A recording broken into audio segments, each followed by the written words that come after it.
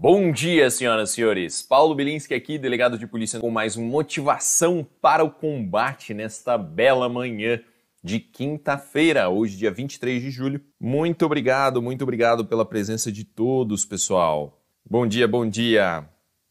Aí, ó. Ah, o Felipe Queiroz. Professor Paulo, alimenta um pouco nossos sonhos. A Hilux só não comprou porque não quis, né? Pajero é tipo Hilux. Felipe, Pô, é metade, né, cara? Uma Pajero é menos da metade de uma Hilux, cara. Um super abraço para o Marcelo de Ipatinga, Minas Gerais. O Jadson. Aí, ó, Minas Gerais está frio, Beatriz. Bom dia, Raquel. Bom dia, Kátia. Estou bem, estou bem, graças a Deus. Dormi bem, descansei. Estou é, me sentindo forte. E hoje, ó, hoje motivação vai ser ao som da praia. Caramba, já imaginou, cara? Que top é, eu sempre fiquei pensando, né, que o pessoal que mora em lugares assim paradisíacos, né, com praia, com parques bonitos, com natureza, esse pessoal deve ter dificuldade para estudar, né? Eu acho que é, se você é de um lugar como, né, sei lá, Florianópolis, não sei, uns lugares bonitos assim, você tinha que ter uns pontinhos a mais no concurso, porque, porra, se você está estudando num lugar paradisíaco como esse, cara, você tem força de vontade. Um super abraço aí para Janaína de João Pessoa. Um super abraço para Kátia do Ceará. Aí, ó, o Guilherme Menck falou da Maroc V6. O Gonzaga tem uma, hein? Um puta carro, mano. Aí, ó, que bom. A Kátia comprou o livro 12 Regras para a Vida. E, pessoal, esse é o tema do Motivação para o Combate de hoje. Eu sei que a gente já falou sobre esse livro é, em outras oportunidades, mas hoje eu vou trazer para vocês uma visão diferente, uma visão mais atualizada do, do 12 Regras para a Vida. E também eu acho que tem muita gente nova no Motivação aqui que chegou faz pouco tempo, então eu acho que seria legal compartilhar com eles também. Se você já leu o livro, acompanhe a transmissão e coloca aqui no chat as suas observações sobre o 12 Regras para a Vida. Se você ainda não leu, faz uma listinha aí das 12 regras e Olha, se você tiver oportunidade, compre esse livro que é muito top. Um super abraço aqui, ó, para Gabriela. É, aí, ó, a Gi Mendonça é nova aqui no Motivação. Muito bom, muito bom. Pessoal, aí, ó, o Lázaro tá voltando para o Motivação para o Combate. A Vânia tá terminando de ler o 12 Regras para a Vida. Então vamos lá, né? Vamos trabalhar. Tá? Só para colocar um pouquinho em contexto, né? Quem é Jordan Peterson? Jordan Peterson, ele é canadense, ele nasceu no Canadá, numa cidadezinha muito pequena, que era dedicada à extração de petróleo. Tá? Então, uma, uma cidadezinha pequena, industrial. Ele é psicólogo né? e hoje mora nos Estados Unidos. O Jordan Peterson, ele ficou muito famoso há uns tempos atrás, porque ele esteve envolvido em uma, uma treta que dizia respeito à, à obrigatoriedade da utilização de pronome, pronomes de gênero, né? pronomes neutros e pronomes diferentes. Então, no Canadá, é, determinada pessoa não queria mais ser chamada de ele ou ela, queria ser chamada de isso.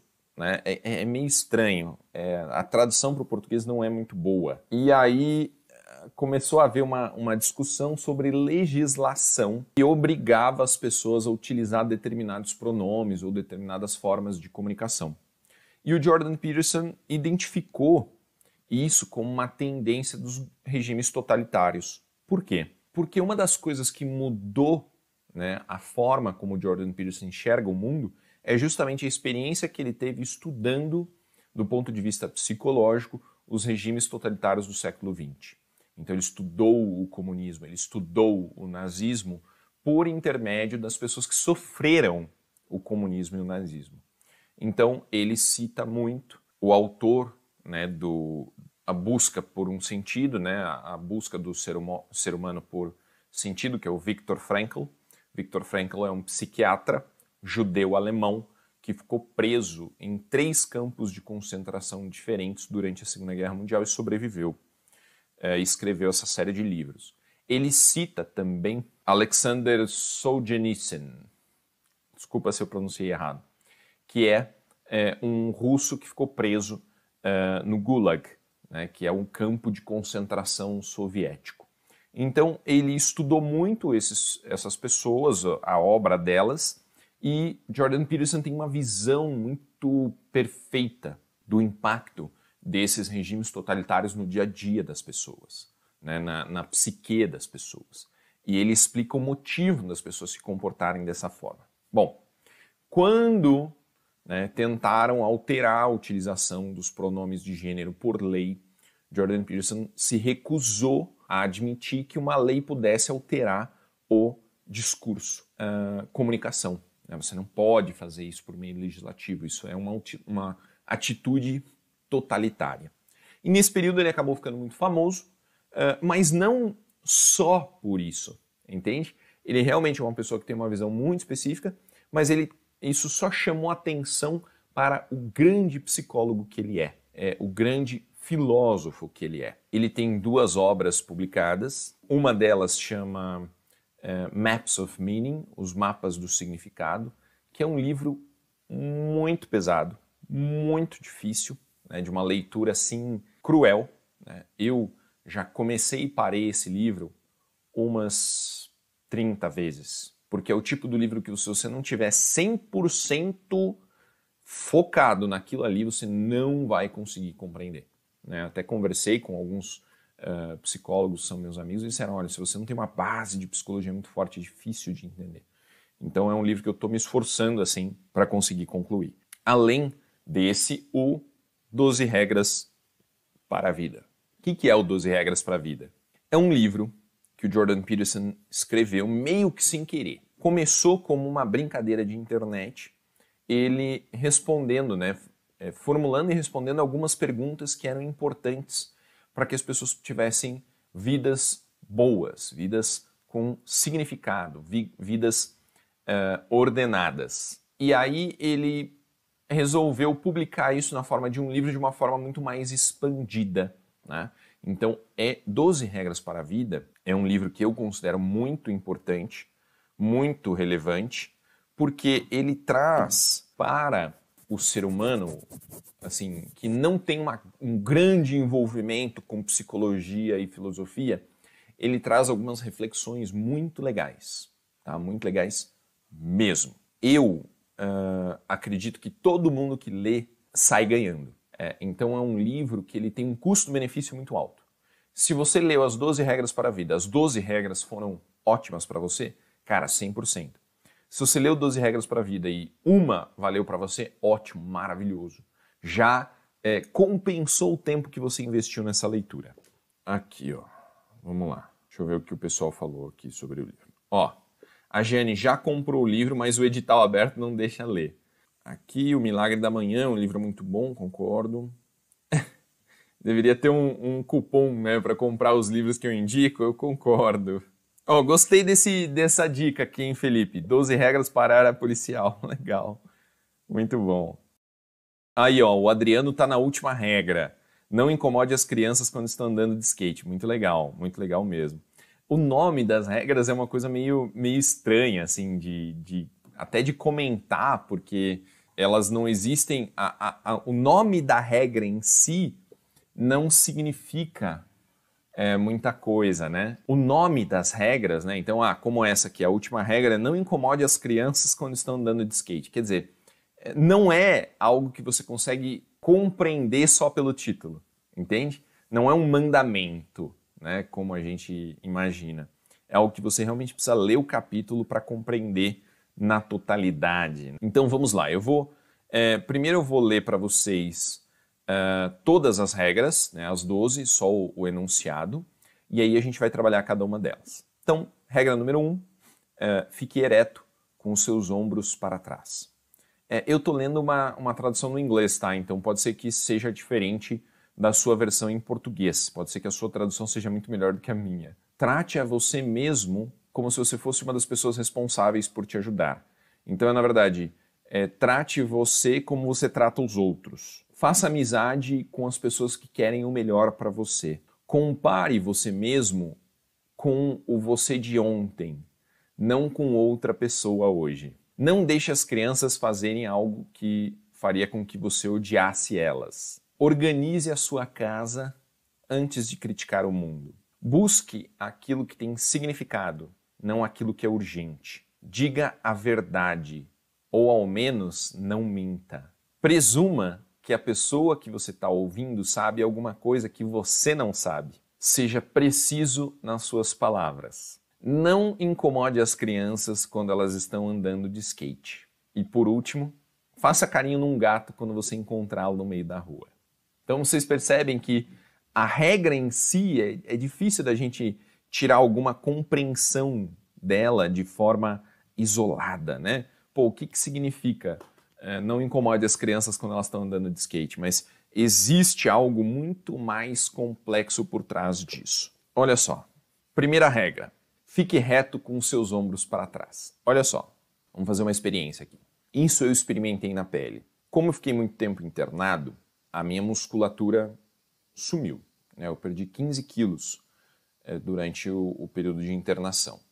Esses 15 quilos envolviam gordura, mas também envolviam massa muscular. Antes de, de ser internado, eu, eu fazia musculação já, faço musculação há 15 anos, né? 12 anos, os últimos 4 anos com bastante determinação. Então eu, eu construí uma musculatura que me dava sustentação esquelética, sustentação boa. Quando eu saí da, da UTI, eu senti né, os meus braços afinaram, minhas pernas afinaram e as minhas costas perderam aquela tensão, né? Perderam força. Eu também, é, em, em virtude da laparotomia, que é a cirurgia que foi feita na minha barriga, ela, a minha barriga foi aberta, né, aqui do, do peito até o, o, a região da, que começa a cintura aqui, depois do umbigo,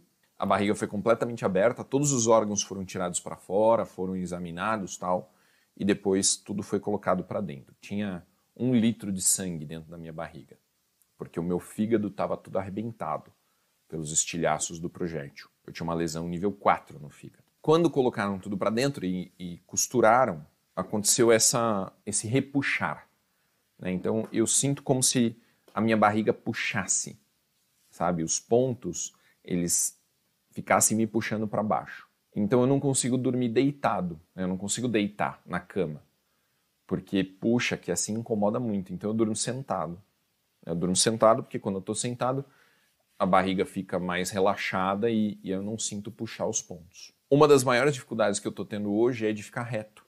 Ó, se eu sentar na cadeira aqui reto, sinto incômodo aqui. E qual que é o reflexo, né? Eu tô quase o tempo todo assim, ó curvado, ombros para frente. Quando eu me olho no espelho, eu me sinto mal. Eu tenho uma imagem ruim de mim mesmo. Porque esse não é o Paulo Bilinski. Né? O Paulo Bilinski tem postura. O Paulo Bilinski senta reto na cadeira, com os ombros para trás, o peito aberto. E qual que é o significado disso?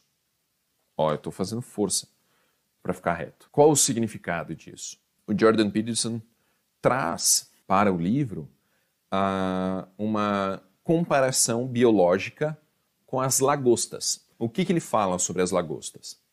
A lagosta, quando ela tá, quando ela é uma, uma lagosta vencedora, quando é uma lagosta forte, uma lagosta que tem sucesso na sociedade das lagostas, ela fica grande, ela se comporta de outra forma, ela se posta firme, ela se coloca assim triunfante, né?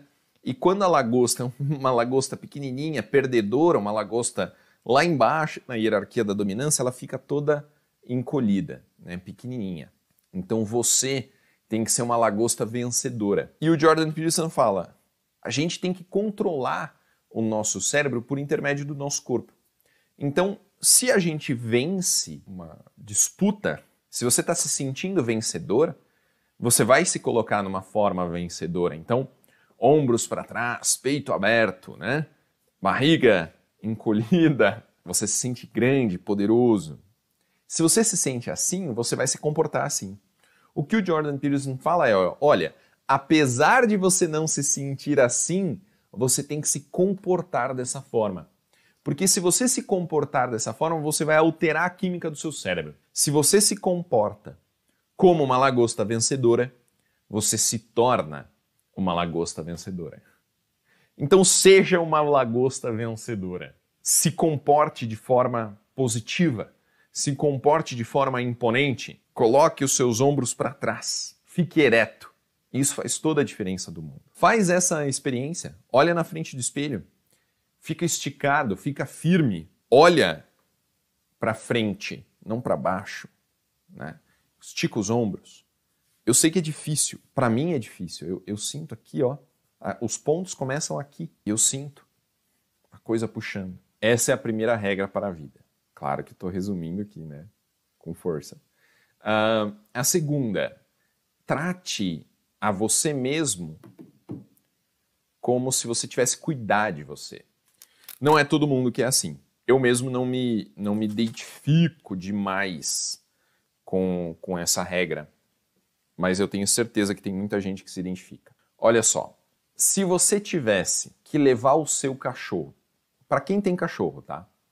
Imagina o seguinte: seu cachorro está doente, está vomitando, está sem comer, está quieto, não consegue levantar do tapetinho na caminha dele. O que, que você vai fazer? Correndo.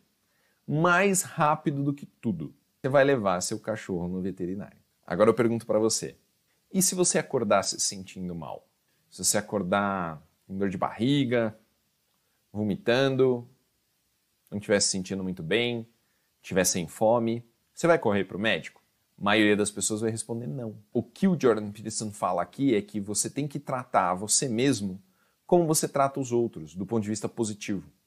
Ele fala que muitas pessoas deixam de lado é, elas mesmas. As, muitas pessoas não se colocam em relação ao cuidado individual como elas cuidam dos outros. Então, cuida de você mesmo. Faça isso por você eu, eu não me identifico muito com essa regra. Eu não acho que eu, eu trato as outras pessoas melhor do que eu trato a mim mesmo. Né? Mas eu conheço muita gente que é assim. Né? Às vezes, o filho, esse, essa é uma boa. Tanta gente que cuida do filho como se fosse né, a coisa mais importante do universo, mas não cuida de si mesmo. Ah, tá preocupado, tal, leva a criança no, no médico, né? Ou então, uma ótima questão aqui, dieta. Se preocupa com o que o filho come. Ah, tal, tá comendo muita besteira, mas vai lá e enche o cu de besteira, entendeu? É, eu acho que esse é um ponto foda, assim. É, o que, que você está fazendo para cuidar de você mesmo? Eu acho que não é ser a, a maior prioridade, olhar mais para si mesmo. Não, é, é dispensar o mesmo tratamento. Ah, você está preocupado com a saúde do seu filho? Ótimo. O que, que você está fazendo pela sua saúde? O meu pai estava falando, nossa, o, o, dá para ouvir daqui o despertador do André. A aula dele começa às 7h30, são 7h26. Olha isso, que moleque sem vergonha, hein? Quatro minutos antes da aula ele está levantando. Uma beleza. Um médico falou pro meu pai: olha, você vai chegar aos 70. Isso quando ele tinha uns 50 anos. Quando ele tinha uns 50 anos, o médico falou assim: olha, você vai chegar aos 70. Você tem que se cuidar agora para quando você tiver 70 anos você está se sentindo bem. Meu pai tem 64. Falta seis anos para ele chegar aos 70 anos de idade. Então, tudo aquilo que ele fez dos 50 aos 64 está determinando como ele está se sentindo agora. Agora ele tem pressão alta, agora ele tem diabetes, agora ele tem triglicerídeos alto, entendeu? Porque ele não se cuidou lá atrás. Meu pai nunca gostou de fazer exercício, meu pai nunca gostou de fazer dieta. Eu tenho 33 anos. Será que eu vou chegar aos 70? Como que eu vou chegar aos 70? Meu pai tem, tem um filho de 14 anos. Quer dizer, ele tem que estar tá com a saúde boa para poder cuidar e ajudar do, o André quando o André tiver 18, 20, 25 anos. Como ele cuida de mim. A ideia da máscara de oxigênio, né? Exatamente isso. Dedé malandro. Vamos lá. Terceira regra. Faça amizade com as pessoas que querem o melhor para você. Cara, essa regra aqui é dolorosa.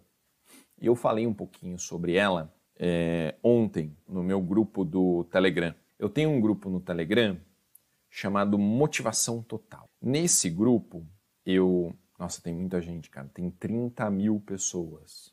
Olha que top. Nesse grupo eu posto mensagens diárias de motivação, reflexões, né? Vídeos. É um videozinho de um minuto e uma mensagenzinha. É um grupo no Telegram. É só você entrar lá, é gratuito, não tem, né, não tem bagunça. Só eu falo, é, ninguém mais fala, só eu. Então ninguém vai te incomodar. Bom, o que, que significa? Faça amizade com pessoas que querem o melhor para você. Ontem eu falei sobre uma coisa muito foda. Tipo, não é bem sobre inveja, mas tem a ver com inveja. Muito cuidado com as pessoas que têm inveja da sua prosperidade. Tem muita gente que se diz seu amigo, mas na hora que você conta alguma conquista, algo que você alcançou, um carro que você comprou, um presente, um relógio, um qualquer coisa, uma promoção que você recebeu no trabalho, essa pessoa na verdade ela sente inveja de você.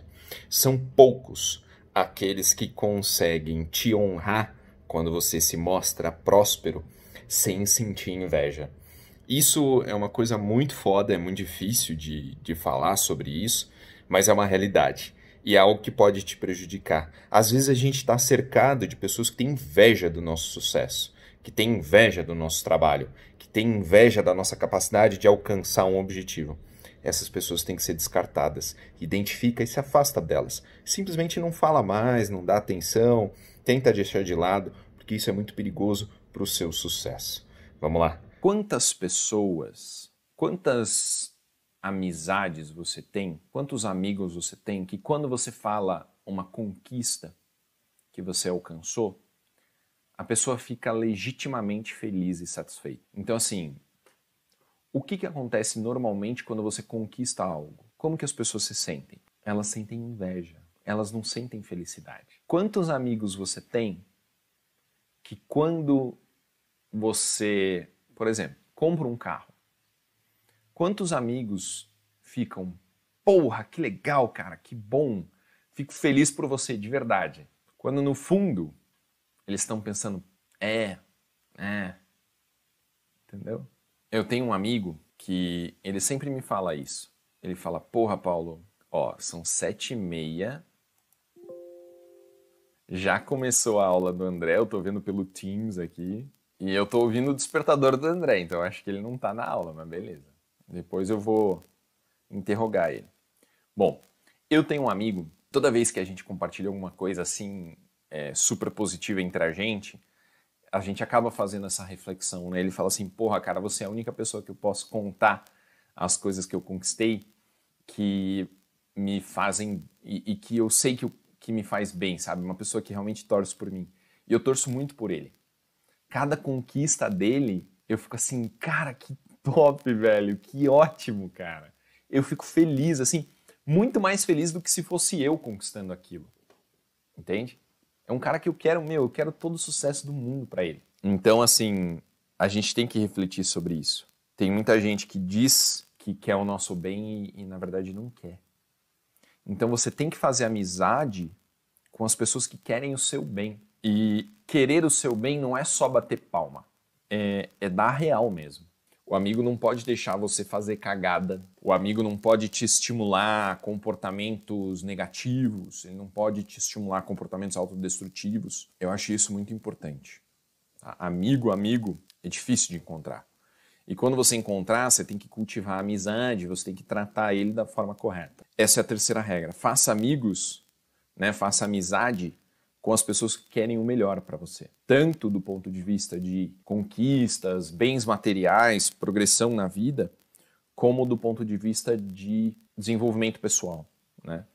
Tem amigos que falam para você, ó, oh, eu acho que isso aí que você está fazendo é errado. Regra número 4. Essa daqui é muito top. Compare a si mesmo com o você de ontem e não com outra pessoa hoje. Essa regra, cara, é. Olha só. Se vocês, ó, todo mundo, levantar a mão, tá?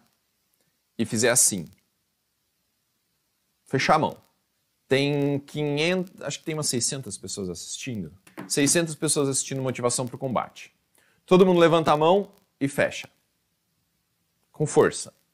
Tem 600 pessoas que conseguem fazer isso. E eu não consigo. Talvez tenha mais alguém aqui assistindo que também não consegue. Eu não consigo fechar minha mão. O que, que eu tenho que. Como que eu tenho que me sentir? Eu tenho que me sentir. Eu sou um bosta. Eu não consigo fechar a mão. Eu devia ter tirado meu dedo. Eu já pensei isso. Eu devia ter tirado o dedo. Se eu tivesse com o dedo amputado, eu já estava voltando às minhas atividades. Para que, que eu preciso de um dedo? Eu cheguei a perguntar pro médico: como é que eu estaria se eu tivesse tirado o dedo?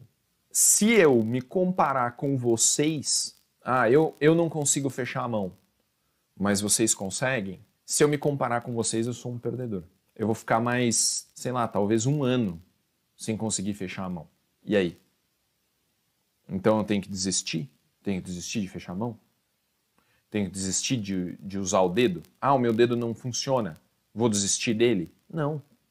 Eu não vou desistir. Porque eu não vou comparar o Paulo Bilinski com a, com a Raquel. A Raquel colocou aqui, eu consegui. Se eu comparar o Paulo Bilinski com a Raquel, eu tô fudido. Eu não consigo fechar a mão. A Raquel tá muito melhor do que eu. E vai continuar melhor. Mas por quê? A Raquel não tomou um tiro na mão. A Raquel não ficou internada.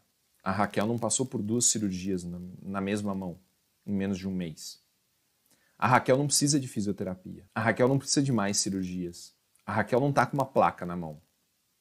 A Raquel não tem dor. A Raquel não tem nada disso. Então eu estou comparando uma pessoa com outra, com histórias completamente diferentes, com situações completamente diferentes. Eu tenho que comparar o Paulo Bilinski hoje, dia 23 de julho, com o Paulo Bilinski ontem, dia 22 de julho. Ó, Tá vendo isso daqui, ó? Encostar o dedão aqui, ó. Eu não conseguia fazer isso com tanta facilidade ontem. Entendeu? Duas semanas atrás eu não estava fazendo isso aqui. Um mês atrás minha mão estava dentro de um, um pedaço de gesso. Não estava mexendo nada, entendeu?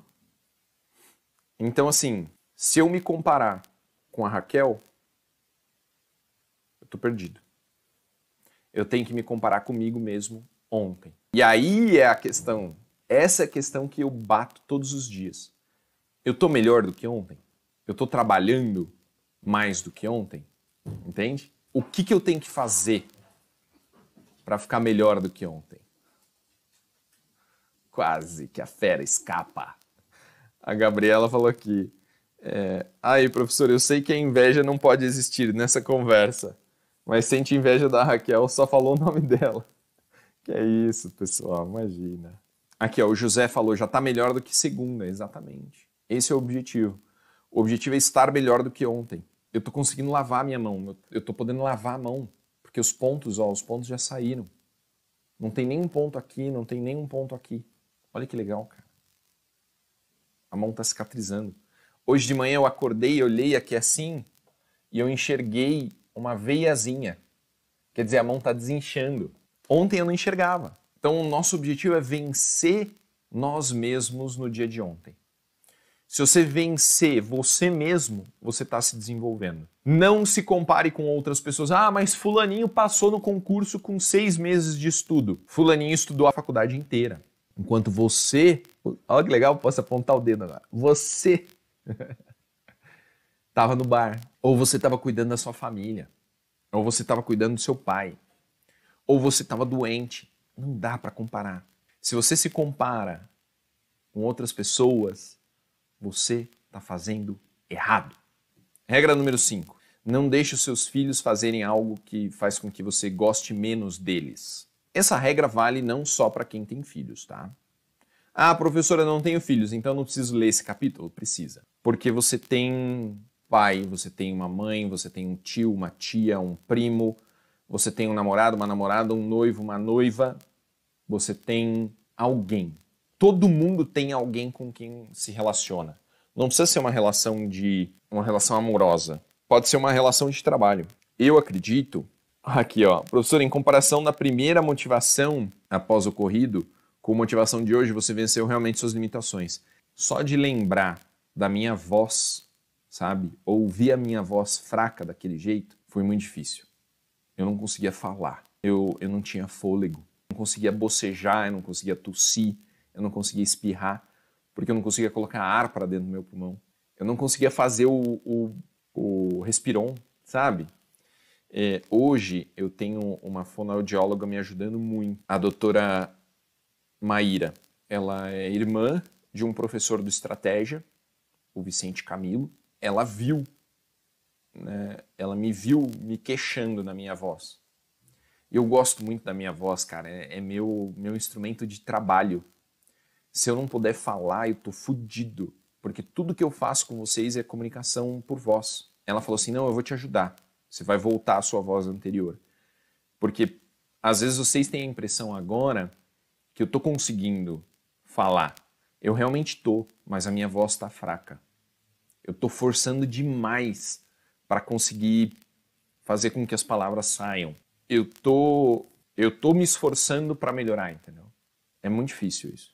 Paulo, ontem eu saí para correr e acabei caindo e ralando o joelho. Só lembrei de você, levantei e continuei correndo. O que me deixa mais emocionado são algumas das histórias que vocês me contam, sabe? Que mostram que, que eu realmente consigo ajudar e contribuir. Como a gente está fazendo isso online, né? Eu estou aqui na minha casa, vocês estão aí na casa de vocês, eu não consigo saber exatamente como vocês estão. Eu não sei se o que eu estou falando está ajudando. Eu só estou aqui falando para uma câmera. Tem uma câmerazinha aqui, ó. Ó a câmerazinha. Eu falo para a câmera e eu espero que isso esteja ajudando. E às vezes eu recebo uns e-mails assim fantásticos, sabe? Eu fico muito emocionado, de verdade. Agradeço muito. Então, é isso aí. Regra número 5: não deixe as crianças fazerem aquilo que faz com que vocês não gostam deles. O que, que o Jordan Peterson fala? Ele fala assim: que você não pode deixar de gostar dos seus filhos. Então, se eles estão fazendo alguma coisa que é muito ruim, que faz com que você fique muito revoltado, você tem que deixar isso claro para eles. Você não pode não gostar do seu filho.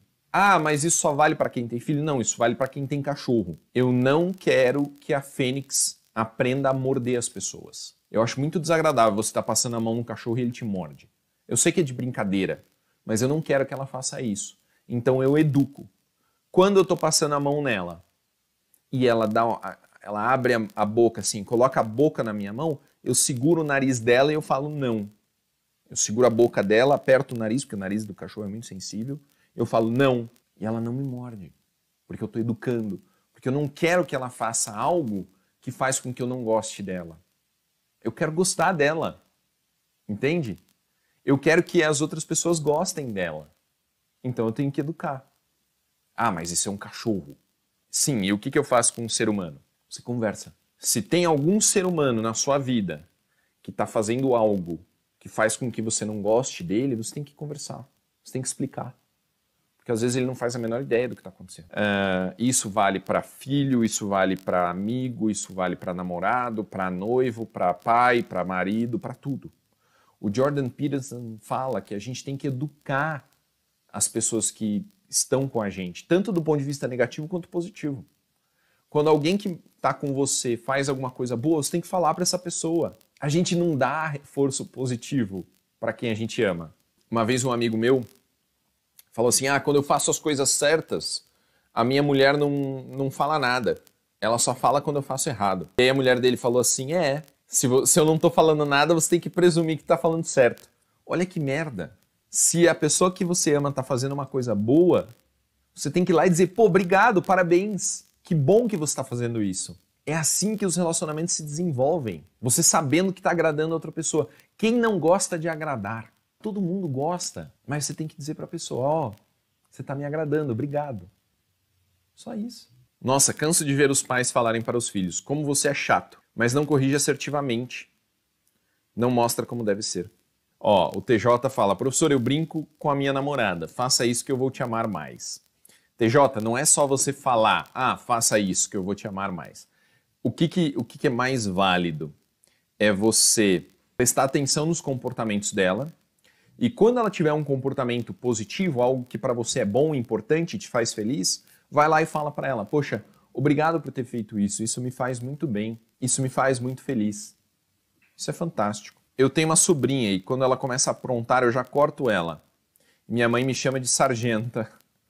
Aí eu digo que, eu, é, que pelo menos ela está obedecendo. Então, Suelen, eu acho que isso é válido não só para comportamentos negativos, como também para os positivos. Então não adianta nada você só reclamar das coisas que a menina faz errado. Você tem que falar coisas positivas do que ela faz certo, tá? Aí um super abraço para o Marcílio Lobo de Patos, na Paraíba. Essa é a regra número 5. Vamos para a regra número 6, para ver se a gente termina a metade do livro. Regra número 6. Essa é para todos nós. Organize a sua casa antes de criticar o mundo. O que, que isso quer dizer? Isso aqui eu acho que é um dos maiores problemas da nossa geração e dos mais novos também. É uma geração que só quer criticar.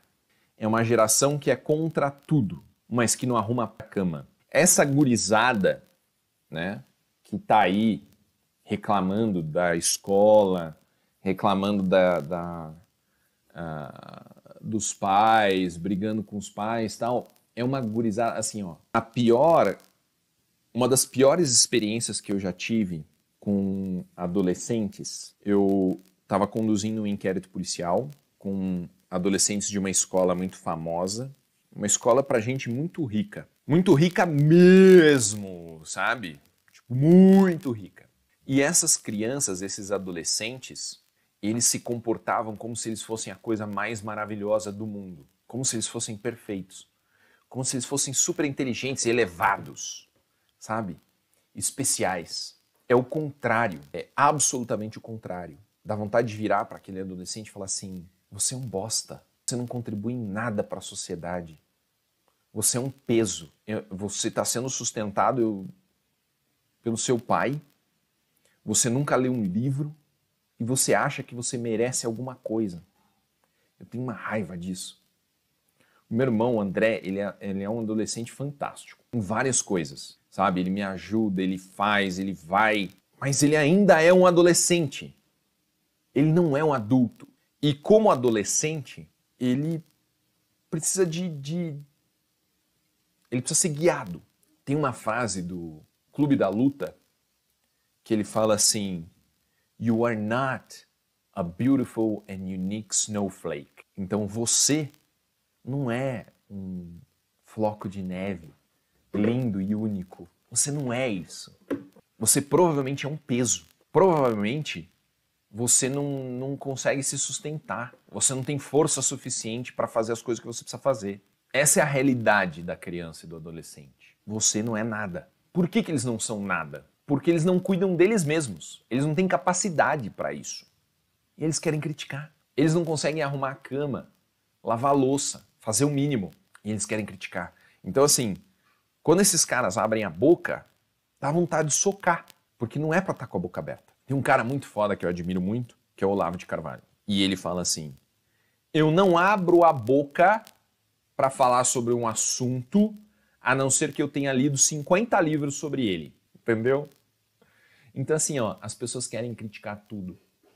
Elas querem falar mal do governo, elas querem falar mal de futebol, elas querem falar mal da novela, elas querem falar mal do, do político, do presidente, mas elas não sabem nada de porra nenhuma. Mesmo quem sabe, às vezes erra. Então, arruma a sua casa. Agora vamos interpretar o que significa arruma a sua casa. Você tá bem? Fisicamente? Psicologicamente? Não tô falando do Henrique Sasaki, porque esse cara é foda. Mas eu conheço uns coaches que a vida do cara é uma merda, é tudo bagunçado, é tudo zoado. Mas ele quer ajudar a vida dos outros. Não é assim, né, irmão? Cuida da sua vida primeiro. Arruma a sua vida primeiro. Depois você vai orientar os outros. Então, arruma a sua cama, arruma a sua casa, arruma o seu corpo, a sua roupa, arruma a sua rotina antes de falar mal do mundo, antes de falar mal dos outros. Entendeu? Vai demorar muito para você colocar a sua vida em ordem. Não é da noite para o dia, não é só arrumar a cama. Vai demorar muito. E quando você colocar a sua vida em ordem, você vai estar tá pronto para ajudar os outros. Não é criticar. É, o TJ falou aqui, ó, não dá para receber crítica construtiva de quem nunca construiu nada. Quem construiu, quem sabe fazer, não critica, ajuda. Quem sabe, orienta, não fala mal. Então assim, ó, imagina o seguinte: eu sei operar arma de fogo. Aí eu vejo um cara manipulando errado. Muitas vezes eu vejo um exemplo claro é recarga. Então a pessoa vai fazer a recarga aqui assim, ó. Ela insere o carregador e manobra a arma aqui na frente eu sei como que isso tem que ser feito. Isso tem que ser feito aqui, na frente do rosto. Por quê? Porque aqui você tem plena visão do que está acontecendo, aonde o carregador está entrando, e você tem plena visão do seu ambiente de trabalho, quem está ali na sua frente. Ah, apareceu um cara ali, eu corro para a cobertura, por exemplo. Ou uma pessoa, um, um cara mudou de posição, eu mudo de posição. Então eu tenho que fazer a recarga aqui. Quando o cara faz a recarga aqui na frente, qual que é o problema? Ele não vai ter força para manobrar a arma. Ele só vai conseguir puxar com a mão esquerda, ele não vai conseguir empurrar com a direita. E se ele fizer a recarga aqui, ele vai empurrar com a direita e puxar com a esquerda ao mesmo tempo. Então é melhor fazer a recarga aqui. Quando eu vejo alguém fazendo a recarga lá na frente, eu não vou criticar aquela pessoa, não vou falar, ah, que burro, não sabe fazer recarga. Eu vou orientar. Eu vou chegar e falar assim, ó, fulano, recarga é aqui. E aí ele vai, pô, é verdade, faz sentido. Uma das palavras que eu mais uso em instrução de tiro é, isso faz sentido? E a pessoa fala, sim. Então, é, cuida da sua vida, arruma a sua vida, orienta a sua vida. Depois que você estiver super bem, bem centrado, bem orientado, bem preparado, aí você vai lá para frente. E você ajuda o outro. Você não critica o outro. É, quero mandar um abraço especial pro gurizinho do Sasaki, que tá com um ano e quatro meses. Esse moleque aí, daqui a pouco, ele já vai estar tá passando em concurso, né? É, eu quero agradecer a presença de todos vocês. Hoje foi uma motivação muito especial. Eu estou muito feliz. Acho que vai ser uma semana fantástica, né? Uma quinta, sexta, sábado, domingo, fantásticos, porque segunda-feira tem mais, tá bom? Galera, muito obrigado pela presença de todos. Desejo um ótimo final de semana para vocês. Continuem me acompanhando. Eu vou colocar mais uma vez aqui, ó, o link do grupo do, do Telegram e daqui a pouquinho a gente continua se falando. Galera, muito obrigado pela presença de todos. Foi um prazer, uma honra. No próximo Motivação para o Combate, mais seis regras para a vida de Jordan Peterson. Um super abraço! E o que, que eu vou pedir para vocês? Pessoal, só pedir para vocês deixarem o like no vídeo aí. Quem tiver gostando, deixa o like. Quem não gostou, foi mal, desculpa aí. Quem sabe no próximo a gente melhora, né? Até a próxima.